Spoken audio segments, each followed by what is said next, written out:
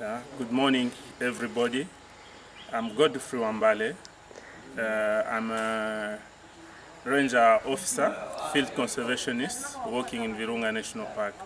Uh, last time I started my blog about chimpanzee in Mwenda. So it's a project what I'm I've just starting from the grassroots. So I've got a lot of difficulties. Uh, uh, the one which is so crucial is the computer. I don't have a computer really. So to publish my work about what I'm doing from the field somehow difficult. Uh, I'm sharing a computer with more than 12 people. Uh, so wildlife direct people sometimes they do help me with their computer.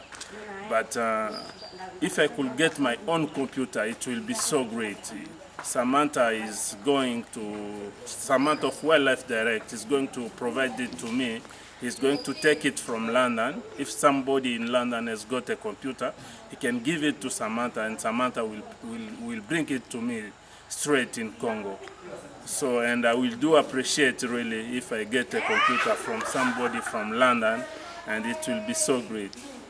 So, let's hope for the best and uh, I'm 100% sure that uh, Samantha, when she will be back from London, she's going to bring the computer to me. Thank you very much.